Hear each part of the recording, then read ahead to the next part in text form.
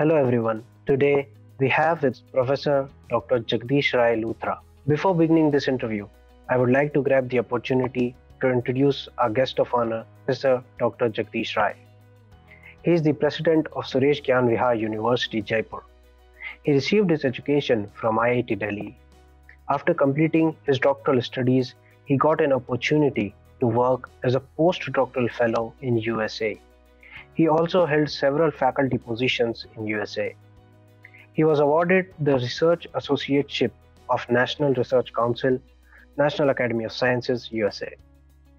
He also worked at the US Army Missile Command several projects for three years. He is the recipient of National Science Talent Scholarship with All India Rank 29. He returned to India and joined IIT Kanpur in 1990, where he worked for 10 years doing teaching and research, guided several PhD and master students, and actively collaborated with many USA universities. He joined Dartmouth College and Ivy League College as professor in 2000. He was invited to South America to set up several institutions. He started the doctoral program in Universidad de Los Andes. In India, he has been director and dean at ANSELS, MIT, Modi, and now president at Suresh Gyan Vihar University. He is also an academic affiliate of University of Michigan in Ann Arbor, USA. So let's begin with the interview. The first question that pops up in my mind after introducing you is that you have held key position at Education Institute throughout your professional career. What are the key factors that keep you connected with the education sector? Thank you for your kind introduction. I also thank Collegedunia for inviting me for this brief talk. Uh, you have asked me a very interesting question, and let me express my views on education. Education is an instrument that can transform lives and society. I want to begin with a little bit about Gyan Vihar. I joined Gyan Vihar last year. It is one of the top institutions of Rajasthan and it's also a NAAC institution. Now, coming back to your question, in education, what connects me is three factors. Number one is teaching, number two is learning, and number three is research. Let me go in a little depth about this. Teaching, of course, the principal job of a university is to teach. But teaching alone is not enough. You have to provide many stimulations for teaching to be accomplished. At Gyan Vihar particularly, we use many fold approach to conducively impart teaching to our students. Once you teach, this receptor of our knowledge is learning. We also have to make sure that the teaching has gone successfully and the learning is being imparted. Now, once the teaching learning exercise is done, there is also a very important part in academics, and that is research. Research keeps you active in mind and sharpens your tools. So I encourage all my faculty to be very active in research. And I'm very proud to tell you that in since I've joined Suresh Gyan University, we have produced more than 200 quality indexed publications. So things that connect me teaching, learning, and research. Thank you for the wonderful answer, sir.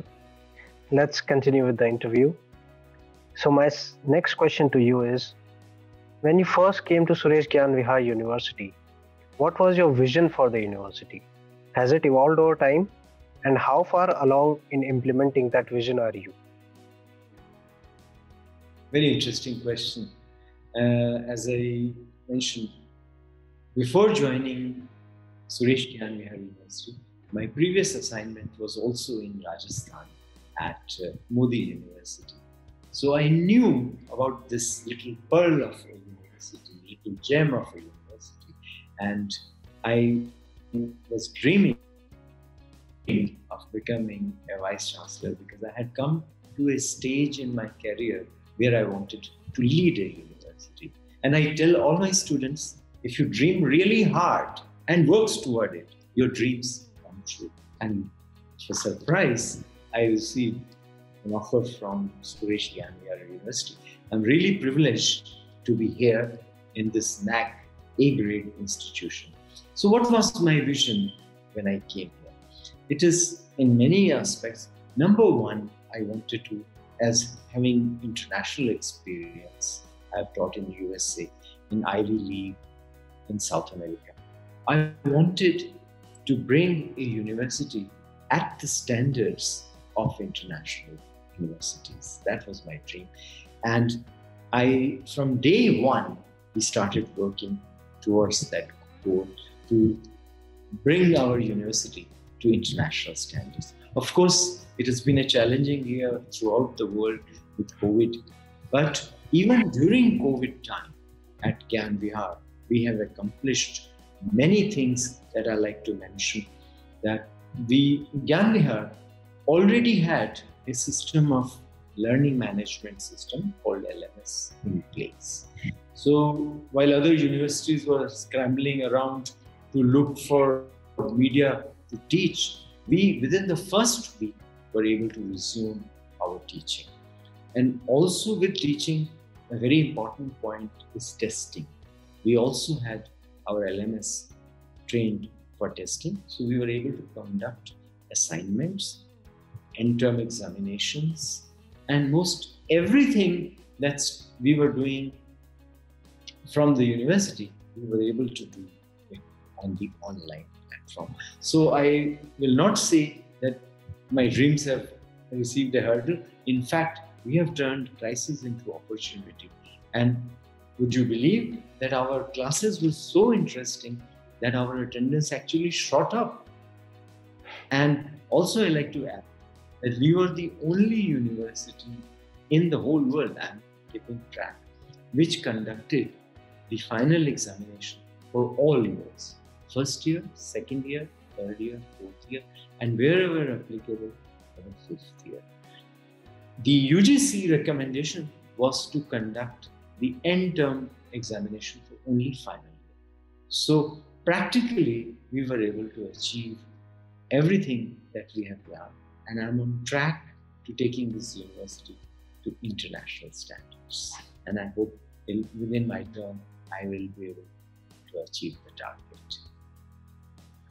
That is so great accomplishment, sir, that even pandemic like COVID could not stop Gyan Vihar University to achieve its goal. Moving on. My next question is that the education system in India and other foreign countries are structured very differently. In your experience, what can an inbound student gain from studying here in your institution?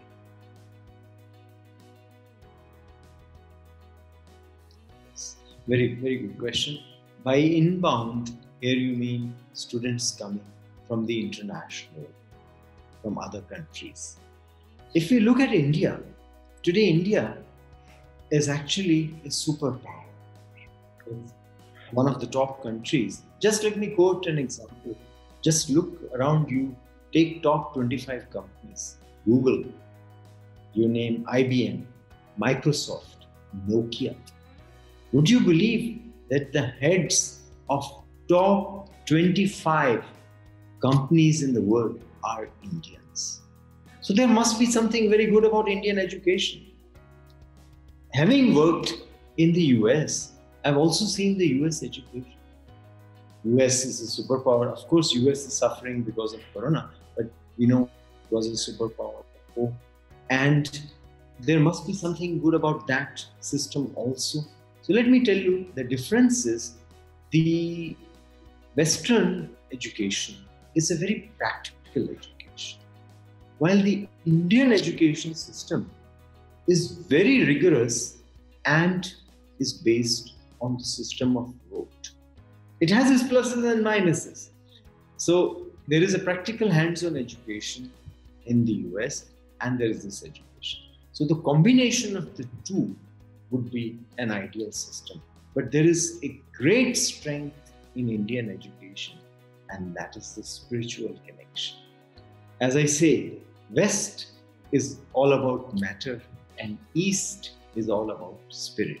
So, any inbound student coming to India will receive international level education with a spiritual bent of mind. You know, once your spirit is strong, you are trained to encounter any situation. So, therefore, the Indian education that we impart is no way inferior to any other university in the world, but is also backed up with the Indian diversity. Look at diversity in languages, look at diversity in our all around. So, an, edu- an inbound student will benefit a great deal by an education in it. So, Suresh Gyan Vihar University is maintaining a balance between the practical approach of USA and the rigor and the spirituality in Indian education system. Moving on. The next question is that according to you, what are the greatest strength of your institution of hmm. Suresh Gyan Vihar?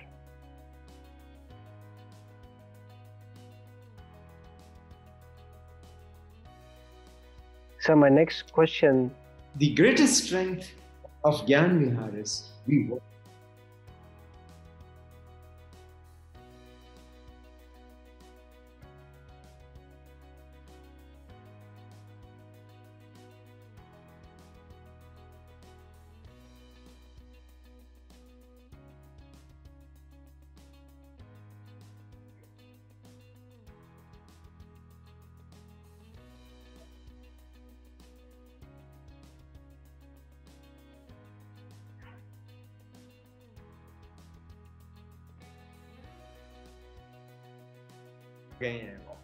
Okay.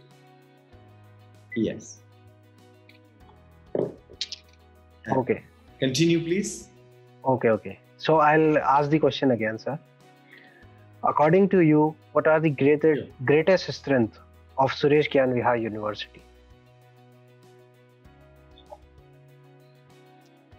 There are many strengths. The biggest of them all, strongest of them all, is at Suresh Gyan Vihar. We study like a family, we teach like a family, with love and affection towards the student. I always tell my faculty, love your students. And with this process, the learning is smooth. In addition, we also have a very strong academia industry interface. We have 11 schools and we have many centers of excellence. Each one of them is empowered with an academia industry interface. Let me take the example of School of Business. In School of Business, our MBA program is empowered with Harvard HBSP, Harvard, Harvard Business School published. What happens in this? When students come, they are not only exposed to book reading, but they are also exposed to simulations and case studies. This is a very costly program that we provide for our students. In USA today, when you do an MBA program, they don't give you books. They give you case studies that this is the scenario you have to go and analyze.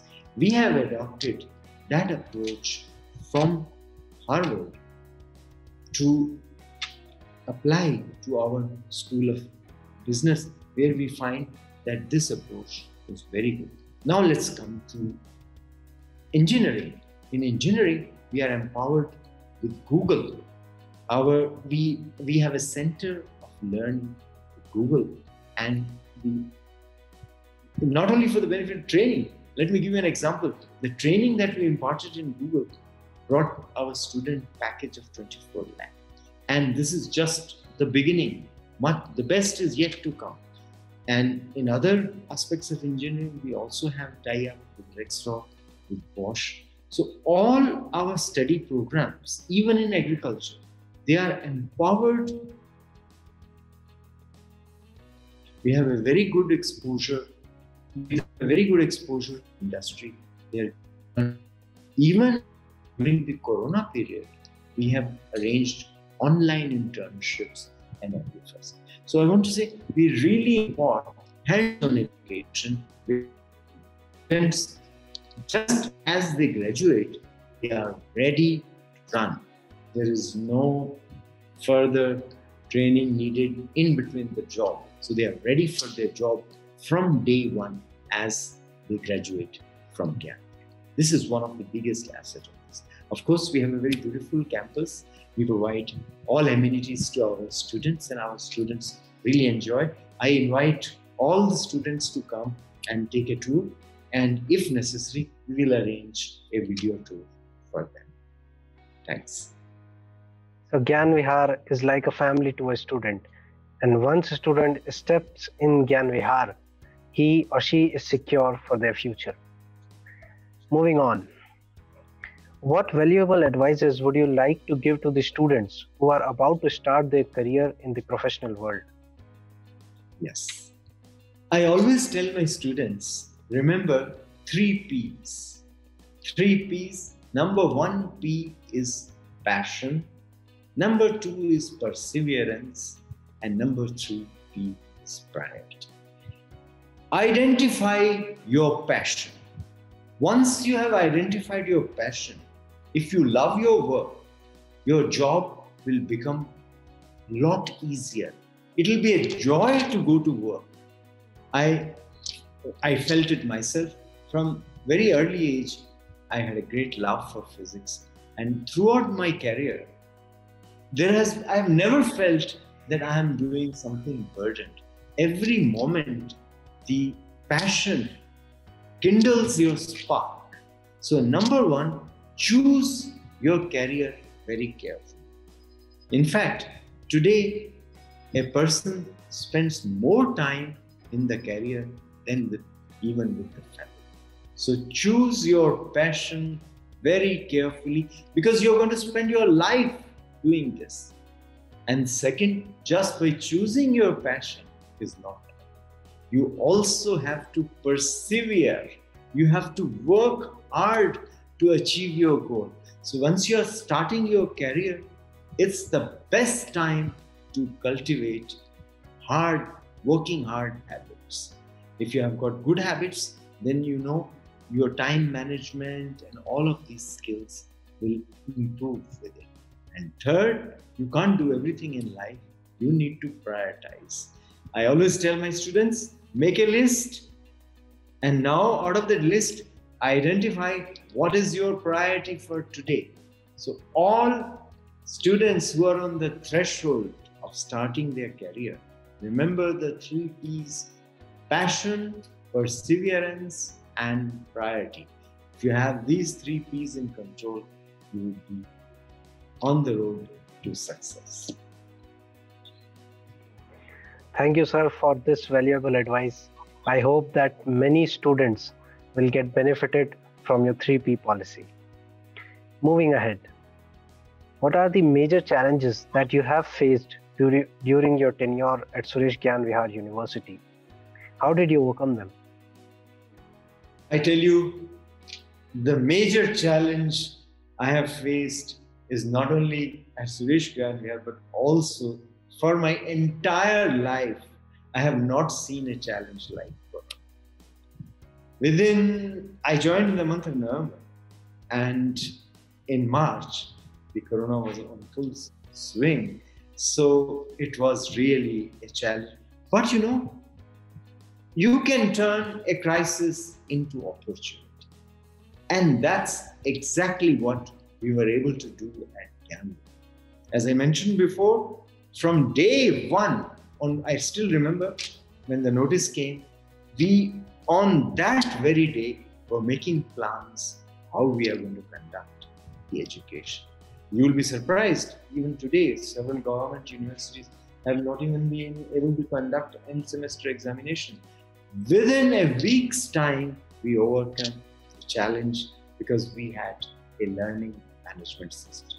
This is the foresight that is needed. You know, anything can happen. So, with that foresight, we went ahead and provided the education to the best of our abilities, and in some cases, even better than before. Let me give you an example. The video lectures were posted on YouTube's, the on YouTube. Then the experiments were done in the labs, and then experiments were shown to the student through video. Today it's become so easy.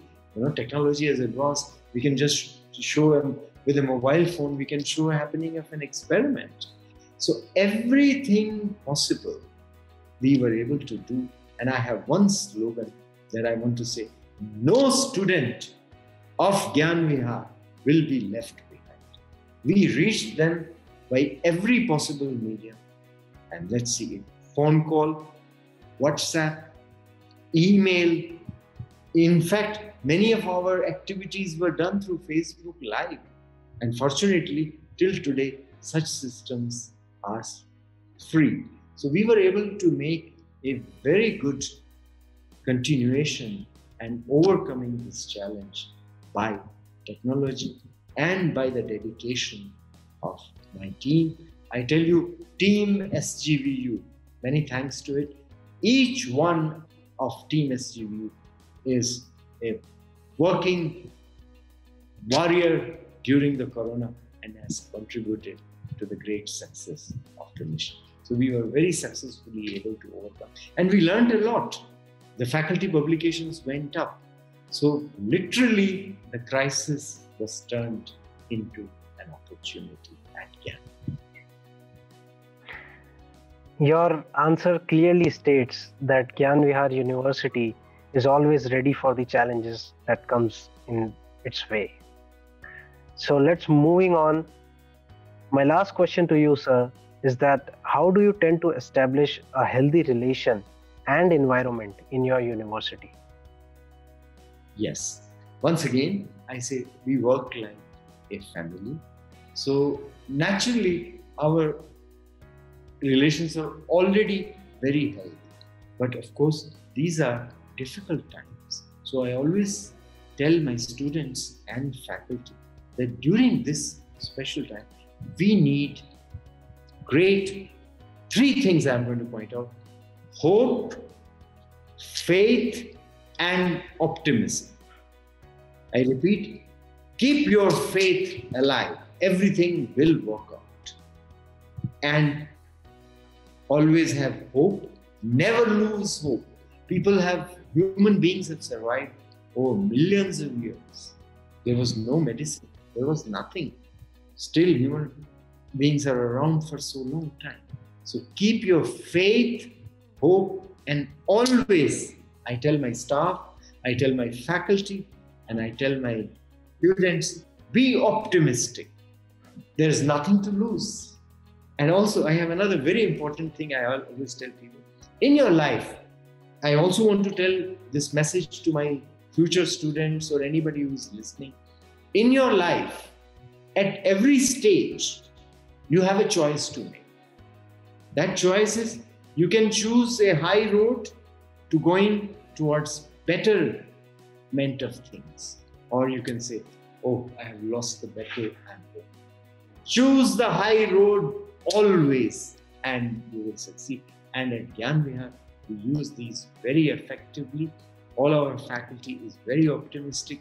Uh, just they are looking, running to do work, and they have very cordial relations with students. They take part in activities. Towards conclusion, I must not forget we also have very strong 20 point program in which students are exposed to entrepreneurship, innovation, international relations, continuous evaluation, all these things exposed. And recently, during the period of Corona, we have developed a new system of success score. How? What is the meaning of success in life?